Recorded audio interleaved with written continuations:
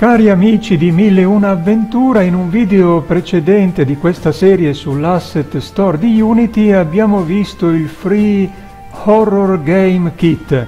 E sarebbe interessante, se vi ricordate c'era un personaggio che trasportava una torcia elettrica che illuminava il buio, sarebbe interessante aggiungere a quel personaggio un'arma per rendere la cosa ancora più interessante un, eh, una scena horror con eh, un personaggio che esplora l'oscurità almeno armato. E allora abbiamo trovato questo Easy Weapon eh, qualcosa che avete visto prima sull'asset store di Unity che presenta tutta una serie di armi. C'è questa pistola e poi c'è questo M4, questo fucile mitragliatore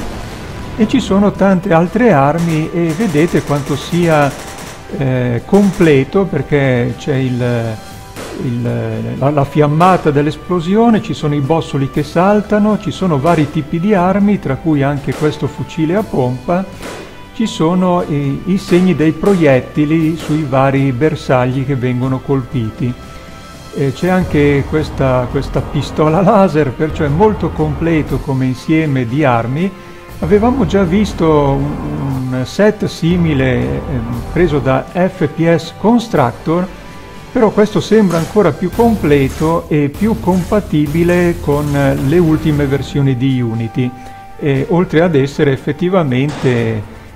molto efficace sia dal punto di vista grafico che delle animazioni ci sono anche questi eh, missili teleguidati che raggiungono i bersagli e li colpiscono. Davvero un set completo con tutto ciò che serve per realizzare un uh, gioco FPS, un first person shooter, che potrebbe appunto essere combinato con quell'altro eh, asset, quello horror, con uh, la torcia elettrica. Ovviamente, eh, dicevo, ci sono tanti set come questo, qui c'è il vantaggio di avere, eh, non avere il, ehm, il, modello della mano, perciò si può aggiungere un, ci sono anche questi laser, eh, vedete quindi quanti, quante armi, ci sono anche questi missili non teleguidati ma eh, lanciamissili vero e proprio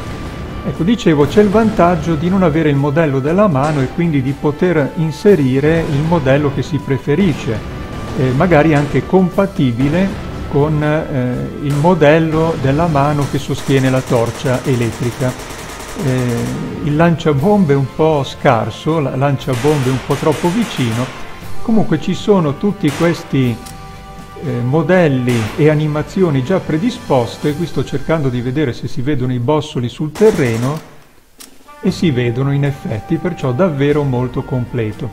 Ora che cosa facciamo? Proviamo ad aggiungere il modello della mano preso dal Free Horror Game Kit. Eh, la mano è questa, vedete che c'è la torcia elettrica, eh, eliminiamo la torcia poi faremo in modo che la mano da eh, sinistra diventi destra e possa impugnare la pistola per avere proprio sulla schermata eh, la, torcia, la mano con la torcia elettrica e la mano con la pistola e poi cercheremo di inserire il tutto nella, nello scenario con, eh, con, tutto il buio e la torcia elettrica che illumina eh, gli oggetti e l'ambiente circostante. Qui stiamo cercando di posizionare la mano nel migliore dei modi, cercando sia di eh, ridurre eh, le sue dimensioni che di posizionarla correttamente. Eh, ed ecco più o meno qui quello che si ottiene. Eh, c'è lo sparo, c'è il modello della mano che si potrebbe anche eh, perfezionare un po' perché è davvero eh, a basso numero di poligoni. Bene, ora aggiungiamo oltre alla pistola anche la torcia elettrica e vediamo l'effetto che fa tutto quanto assieme. Abbiamo posizionato i due modelli e ora ecco lo avanziamo leggermente in modo che si trovi più o meno a, eh, alla, nella posizione della pistola e ora vediamo l'effetto che fa eh, tutto quanto assieme. Ecco, abbiamo collocato il modello nella posizione giusta ed ecco che la torcia elettrica e la pistola in effetti sono nella posizione giusta. E anche se spostiamo il nostro modello e lo facciamo avanzare, quello che si ottiene è il movimento realistico eh, di eh, pistola e eh, beh, qui chiaramente su queste armi non abbiamo ancora collocato il modello della mano, però è, è un lavoro che si può fare e chiaramente in una situazione un po' più buia anche il basso numero di poligoni eh, può essere accettabile. Ecco quindi che stiamo provando le varie armi e non resta che trasportare tutto nel, nell'ambiente originale del Free Horror Game Kit per vedere se eh, sia le esplosioni che la torcia elettrica riescono a illuminare la scena come ci aspettiamo che eh, debba succedere. Bene, non mi resta che ringraziarvi per l'attenzione, spero che questa, eh, diciamo, eh, questo integrare diversi assets presi dal,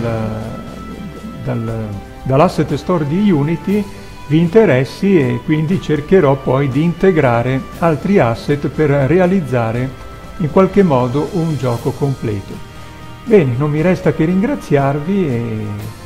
ci rivedremo, ci risentiremo in un prossimo video. Ciao a tutti!